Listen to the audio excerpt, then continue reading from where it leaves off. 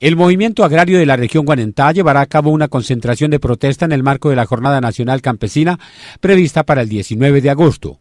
Uno de los líderes del sector inicialmente habló acerca de las razones por las cuales ellos se vinculan a la Jornada Nacional contra el alto costo de insumos para la producción de sus artículos en tabaco, maíz y frijol. La falta de oportunidades para los habitantes del campo.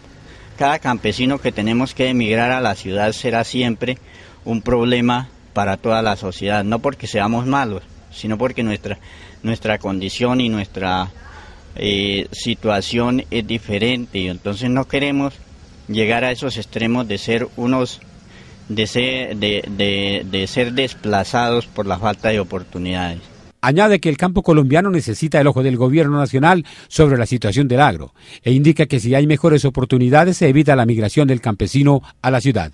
Que la raíz del problema viene a que estamos llenando nuestras ciudades de personas eh, con pocas oportunidades. Si le damos oportunidad a la gente de quedarse en el campo, con condiciones de trabajo, con unos eh, precios de sustentación para lo que se produce, yo creo que, los problemas serían mejores, menos, perdón, los problemas serían menos y tendríamos eh, una sociedad más justa y más pacífica.